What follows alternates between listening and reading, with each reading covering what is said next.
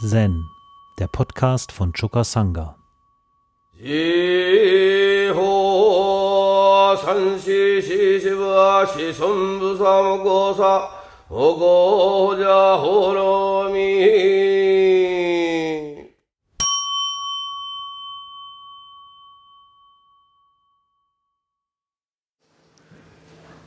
Ich bekomme hier gerade eine Nachricht von meinem Computer.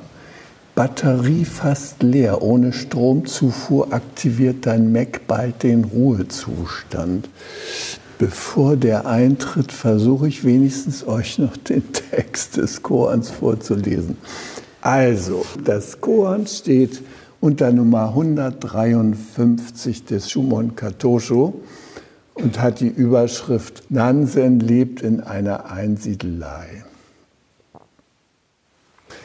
Kido nahm auf dem hohen Sitz Platz und sagte, als Nansen Fugan in einer Einsiedelei lebte, besuchte ihn ein Mönch. Nansen sagte, ich werde zum Berg gehen, um zu arbeiten. Sobald du mittags das Mittagessen beendet hast, würdest du mir eine Portion bringen? Der Mönch aß zu Mittag, dann zerbrach er die Töpfe und das Geschirr und legte sich auf dem Bett hin. Nansen wartete lange, aber der Mönch kam nicht.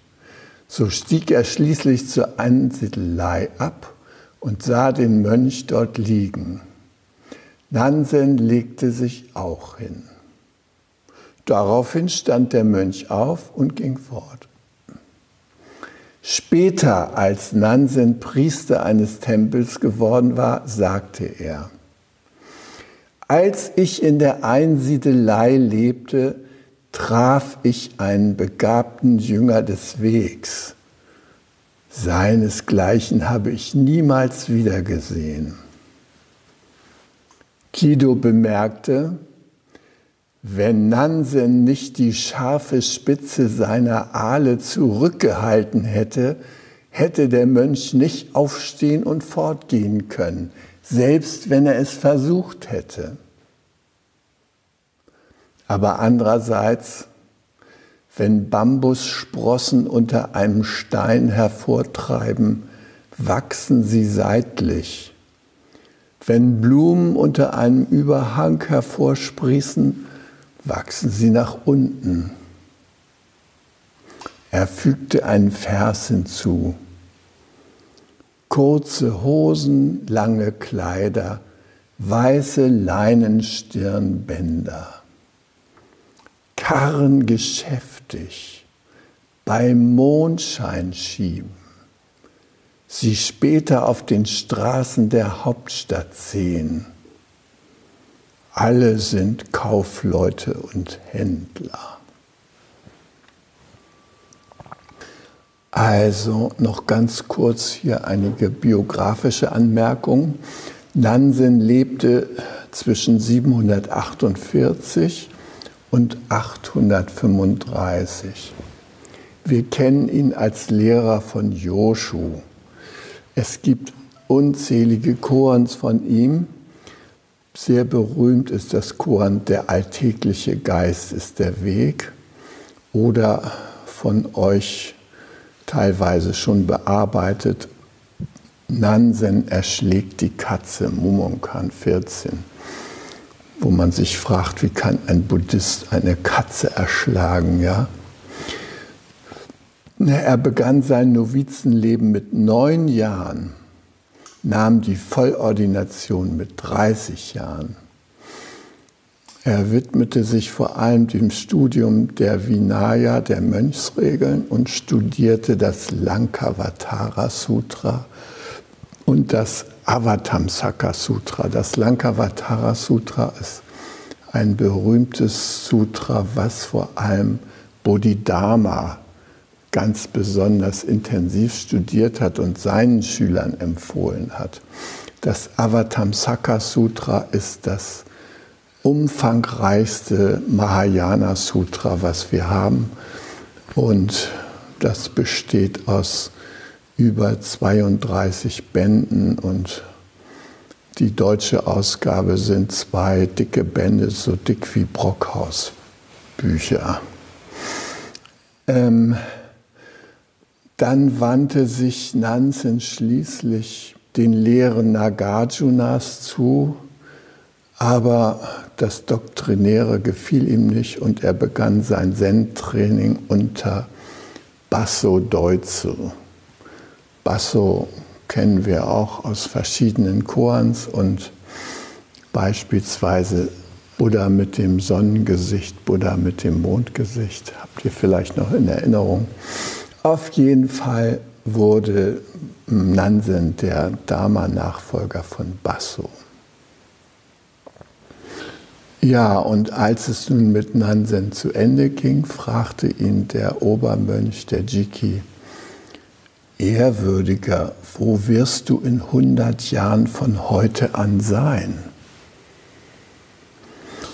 Ich werde ein Wasserbüffel am Fuße des Berges sein, sagte Meister Nansen. Ist es in Ordnung, wenn ich dir folge? fragte der Obermönch. Wenn du mir folgen willst, musst du ein Grasbüschel in deinem Maul halten, war Nansens Antwort. Bei Tagesanbruch des 27. Januar 835 sagte der Meister zu seinen Schülern, der Stern geht unter und die Lampe leuchtet schon lange nur noch gedämpft sagt nicht, ich sei gekommen oder gegangen. Seine Worte verebbten und er verschied. Er war damals in seinem 87. Lebensjahr. Die Geschichte erinnert mich an, einen Vorfall, den ich selber erlebt habe. Also ich hole dazu mal etwas länger aus als ich 26 Jahre alt war, ist schon eine ganze Weile her, ja. Also vor 50 Jahren. Ne? Da hatte ich mein erstes Staatsexamen im Jura hinter mir und hatte den Plan, auf Weltreise zu gehen. Und das war im Jahr 1973. Und Weltreise hieß für mich vor allem, nach Südamerika zu reisen. Und deshalb kaufte ich ein Dampferticket für so ein Frachtfahrgastschiff nach Südamerika und mein Abfahrthafen war Barcelona. Das Schiff kam von Genua. Der Donizetti, ein alter Dampfer, ja, inzwischen schon längst außer Dienst gestellt.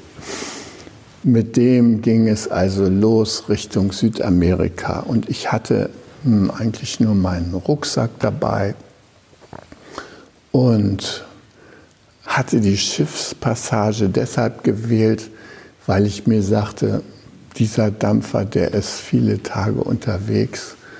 Äh, mein Ziel war damals Val Valparaiso in äh, der Nähe von Santiago de Chile.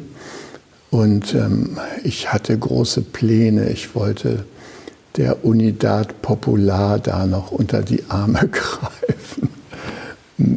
Drei Projekte hatte ich mir vorgenommen in Chile. Und naja, während ich da mit meinen Abreisevorbereitungen befasst war, da fand der Putsch in Chile statt wo der Salvador Allende, Präsident der Unidad Popular, am 9. September 1973 ähm, ja, aus dem Amt äh, gejagt wurde, könnte man sagen. Also die Moneda wurde bombardiert, der Präsidentenballast und wie wir alle vielleicht noch erinnern, war dann Pinochet jahrelang der Diktator, der Chile regiert hat, nicht ohne das Einverständnis der Vereinigten Staaten von Amerika und unter Mitwirkung des Friedensnobelpreisträgers Kissinger. Der hatte diesen Putsch eingefädelt. Ja. Der ganze Putsch folgte der Monroe-Doktrin. Das bedeutet, dass äh, die USA in Südamerika und Mittelamerika kein Regime duldeten, was nicht äh, den USA freundlich gesinnt war und Chile Allende zählte nicht mehr dazu, ja? weil die sozialistische Ambitionen hatten. Kurz und gut, darum geht es jetzt gar nicht, sondern ich war auf diesem Schiff und ähm, das Schiff, das ließ es wirklich gemütlich angehen. Überall müß, mussten wir längere Aufenthalte, äh, also hatten wir längere Aufenthalte, weil das Schiff nicht so ganz fit war und immer wieder mal kleine Reparaturen fällig waren. Auf jeden Fall äh, auf der längeren Fahrt dann über den Atlantik, da kamen also unterwegs lauter junge Leute zusammen. Ich wollte unbedingt mein Spanisch aufbessern während der Fahrt und hoffte da junge Menschen zu treffen, mit denen ich äh, vielleicht auch noch, die ich vielleicht noch besuchen könnte später am Reiseziel Peru oder Bolivien. Jedenfalls hatte sich da so eine Gruppe von jungen Leuten, von netten jungen Leuten zusammengefunden und wir tanzten dann zu dem Schrumptata der äh, Atlantic Band. Die spielten jeden Abend dieselben Stücke, ja, und es war also einfach, sich darauf einzustellen und äh, wir haben viel Spaß gehabt da auf dem Schiff.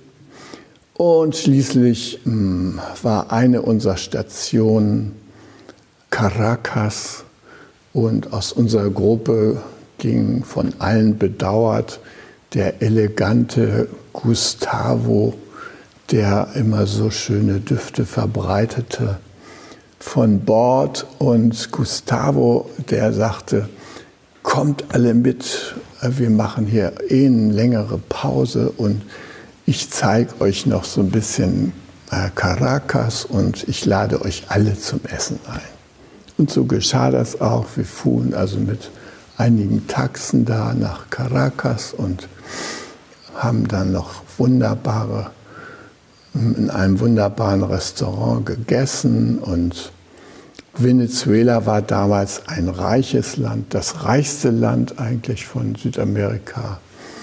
Also haben wir das auch schon mal mitgenommen. Ja, und er spendete uns dieses Mittagessen und wir hatten natürlich untereinander alle Adressen ausgetauscht und hofften, einander irgendwann im Leben wieder zu begegnen. Kurz und gut, das war der Abschied von Gustavo und ich reiste dann ungefähr acht Monate in Südamerika herum und danach kehrte ich zurück, um meinen Referendardienst beim Oberlandesgericht Bremen anzutreten. Und während meiner Referendarzeit musste ich auch zwischendurch immer wieder examensrelevante Hausarbeiten machen, ja. Relationen schreiben und sowas alles. Kurz und gut, ich war gerade damit beschäftigt, so eine Hausarbeit zu schreiben. Da fand ich an der Tür meiner Wohnung einen Zettel auf Spanisch Dein Freund Gustavo Luque wartet auf dich am Bremer Hauptbahnhof. Abrazos Gustavo. Hm. Ich war erbaut, ja, mal wieder jemand aus der Crew da und aus der Clique zu treffen. Und ich bin also los zum Bahnhof und tatsächlich fand ich ihn da in der Nähe des Blumenladens. Und wir gingen da fröhlich zu mir nach Hause und es war schon späterer Nachmittag und ich schlug ihn vor, dass ich ihn einlade in ein beliebtes Bremer Ausflugslokal an der Wümme, nämlich die Schleuse. Da traf sie auch übrigens immer äh, die Spieler von ähm, Bremer Fußballmannschaft. Ne? Und der fühlte sich da sehr wohl und wir plauderten und erzählten uns von alten Zeiten und so. Und er sagte mir, ja, er würde gerne ein paar Tage in Bremen bleiben. Ne? Er wollte zwar nicht zum Spiel von Werder Bremen, aber immerhin, also wollte sich noch ein bisschen umschauen und sagte mir, er hätte vor, äh, nach Osteuropa weiterzureisen, weil er sich dort für landwirtschaftliche Projekte interessierte und die Landwirtschaft lag ihm am Herzen.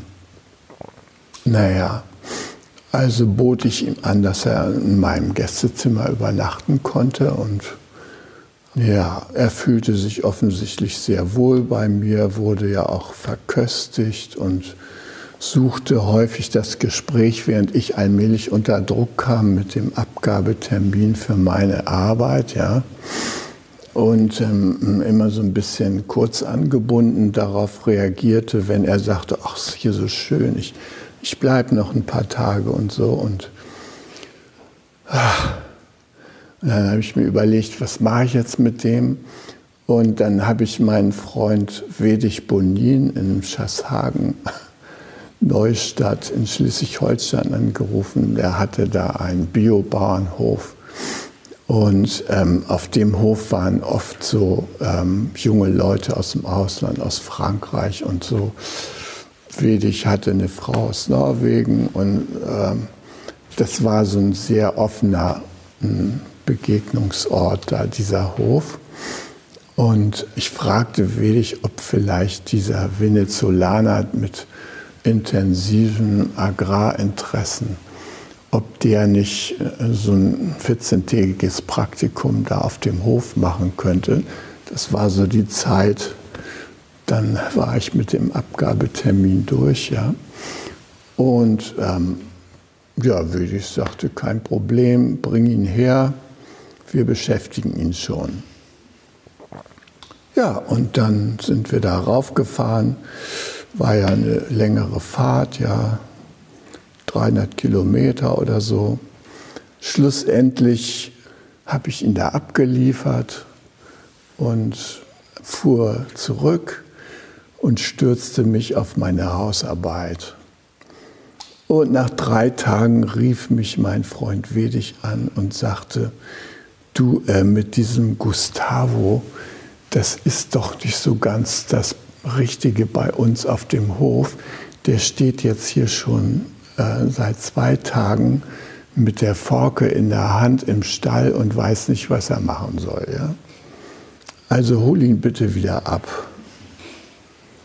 Dann bin ich da wieder raufgefahren und habe ihn abgeholt und so.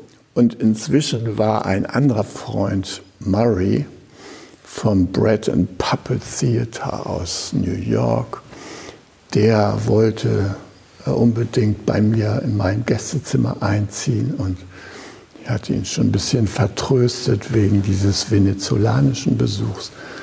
Und ähm, na, ich schilderte ihm die Lage und Gustavo kam erstmal wieder und musste Murray noch etwas vertrösten. Und ähm, dann dachte ich, also jetzt brauche ich wirklich mal die Zeit für mich. Und habe dann Gustavo gebeten, äh, doch jetzt mal mein Gästezimmer freizugeben für Murray und in einer nahegelegenen günstigen Pension sich aufzuhalten.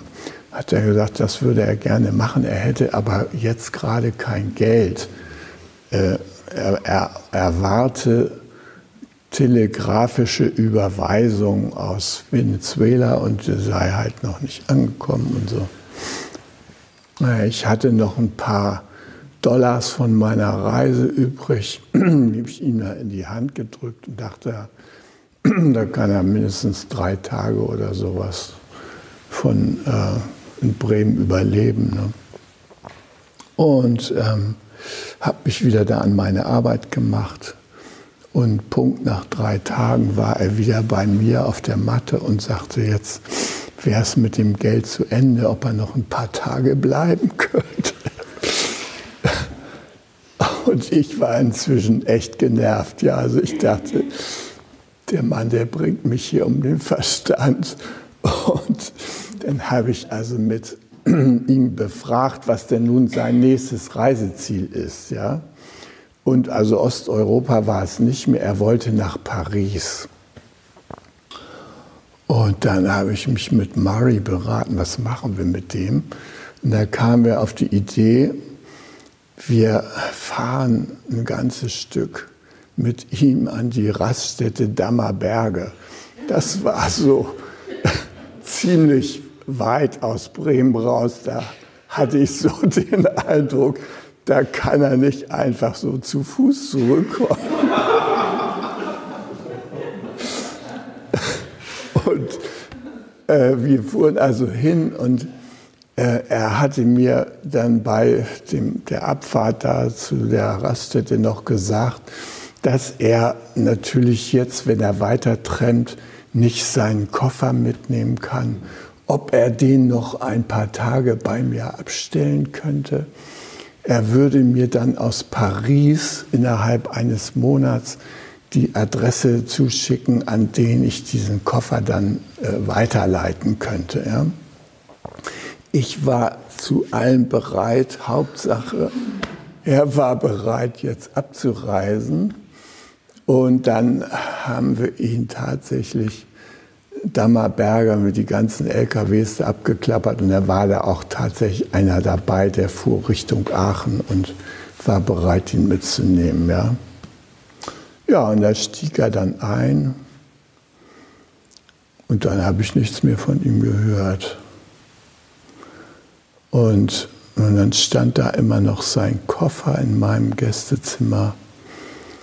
Naja, und das war ja auch nicht so schön, den da immer rumstehen zu haben.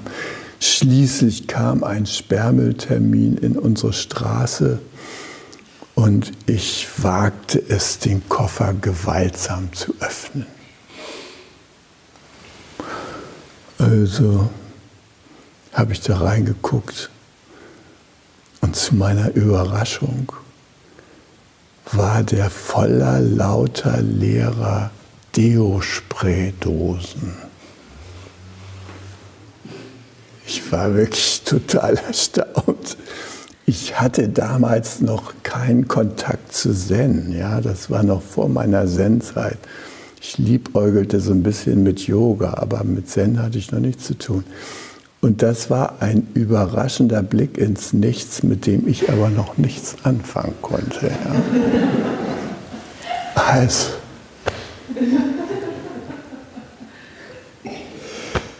es, es blieb mir nichts anderes übrig.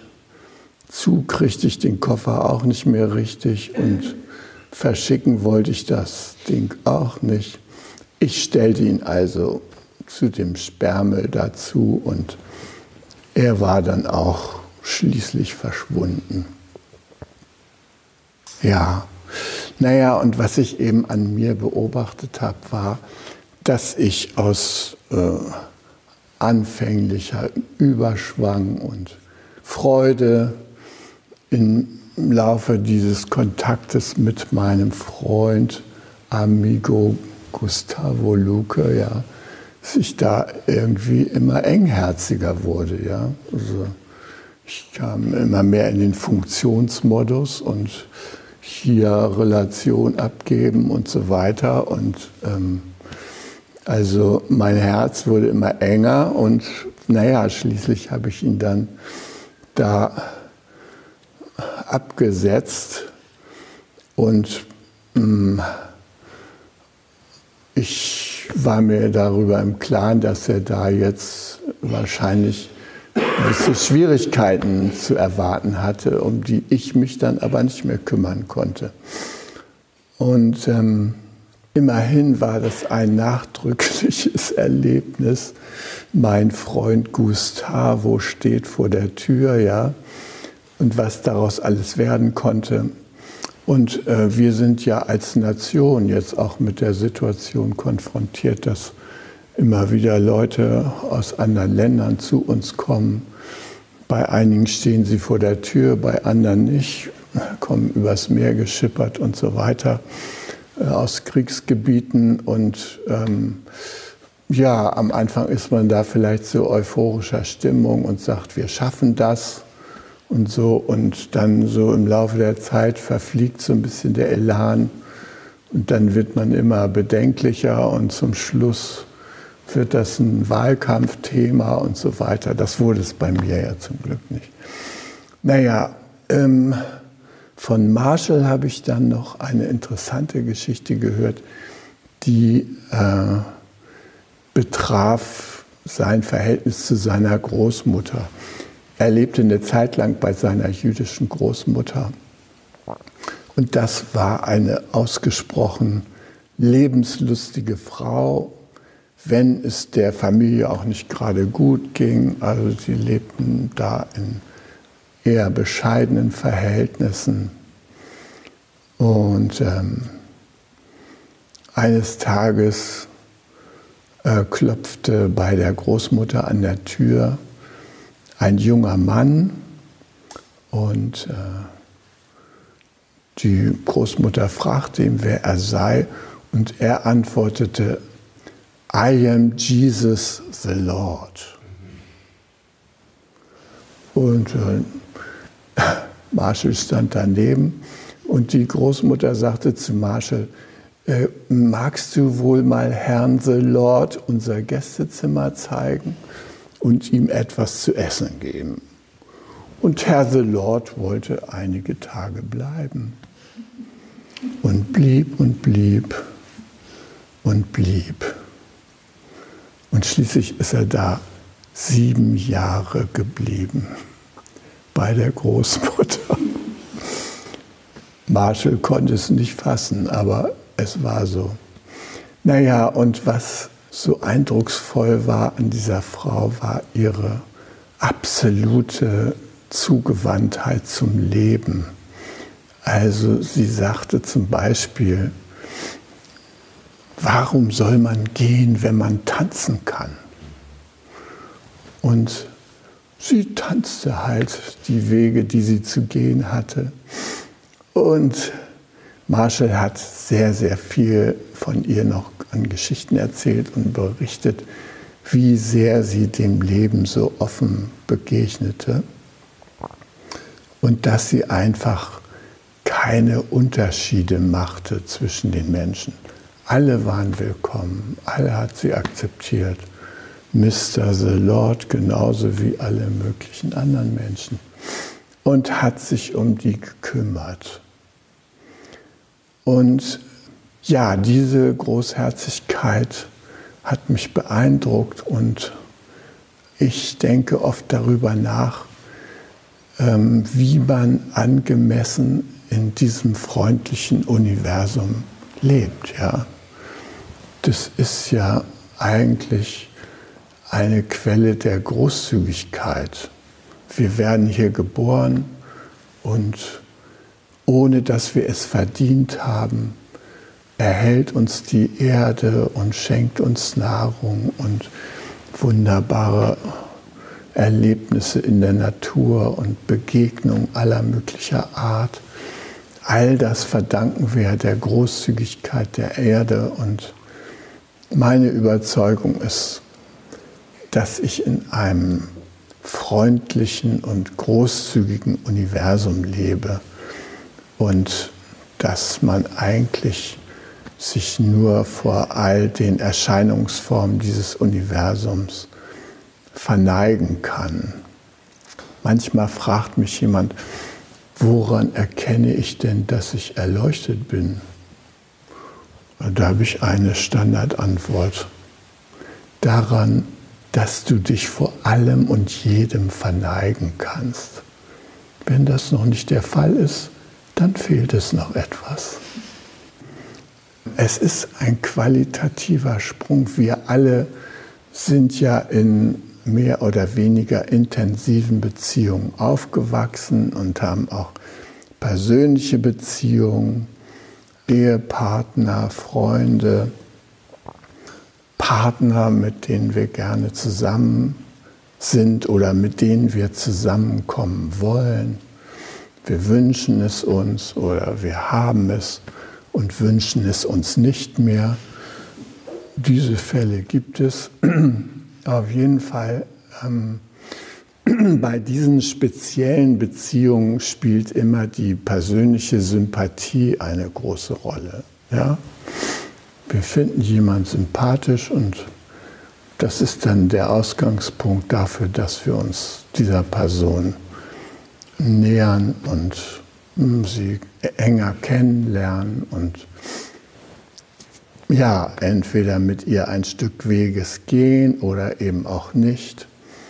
Auf jeden Fall sind diese besonderen Beziehungen für uns wichtig, um auch uns selber weiter zu entwickeln und interessante Schritte im Leben zu machen, wie zum Beispiel Kinder zu bekommen und so weiter, ja. Oder zusammenzuarbeiten. Also das sind alles diese persönlichen Beziehungen. Und ähm, äh, was mir klar geworden ist, diese persönlichen Beziehungen, die sehr intensiv sein können und die uns sehr fordern und einnehmen können,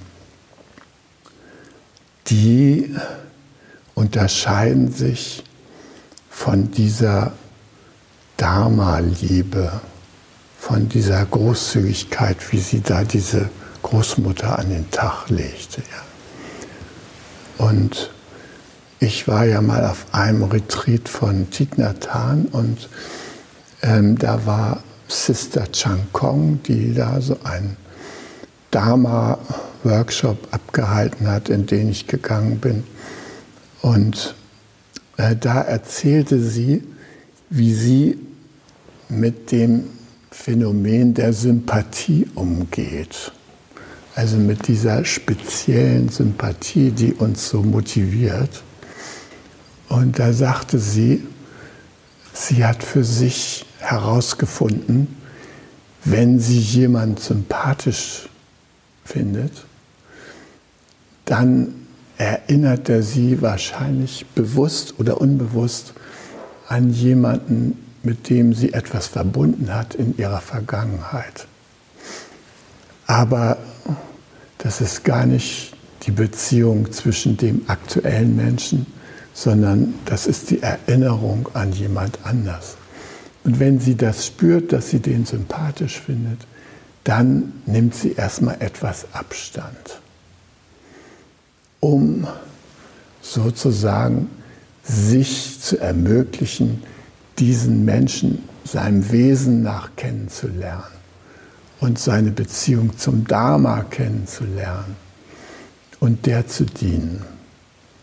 Und wenn sie jemand unsympathisch findet, dann geht sie davon aus, das triggert auch eine vergangene Erfahrung mit jemandem, der ihr unsympathisch war, den sie irgendwie abgelehnt hat. Und dann geht sie besonders intensiv und zugewandt auf diese Person zu, um der kein Unrecht zu tun. Und so gelingt es ihr oder gelang es ihr, so hat sie das berichtet, mit allen Menschen, denen sie begegnet, eine Beziehung einzugehen, die großzügig ist ihrer Natur nach und dem Buddha Dharma dient. Und das fand ich sehr eindrucksvoll zu hören, dass es eine Beziehungsebene gibt, wo wir diese Dharma-Liebe ausleben können. Ja? die etwas sehr Erfüllendes hat. Das konnte man an Sister Kong ja bemerken.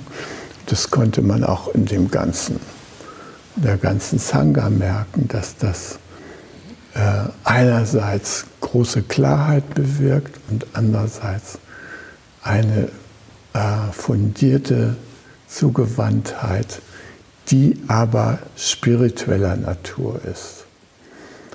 Und so auf meine alten Tage versuche ich das auch noch so ein bisschen herauszufinden, wie es eigentlich mit der Dharma-Liebe sich verhält, die keine Unterschiede macht, die es schafft, so Akzeptanz in jede Richtung zu leben. Und, und ich bin äh, beeindruckt, wie beglückend das ist. Ja? Es sind ja alle, mit denen ich zusammenkomme, Buddhas in unterschiedlichen Entwicklungsstadien. Aber das sind sie ja nun mal. Ja? Und alle haben unter dem Gesichtspunkt des Dharma so triggern sie meine Großzügigkeit und Fürsorge und Lebendigkeit und Kommunikationsbereitschaft. Und ich bekomme immer mehr äh, Gefallen daran, nicht in spezielle Beziehungen zu mich zu begeben, wie ich sie natürlich zu meinen Kindern habe, ja. Aber so jetzt mit den Menschen, mit denen ich so zu tun habe, sondern eben dieses Dharma-Fundament mitzuerleben. Und das tut mir gut. Und das ist echte, intensive Liebe. Und äh, die empfehle ich euch. Hi. Um jungen Menschen den Aufenthalt im Togenji zu ermöglichen, bitten wir um ihre Spende.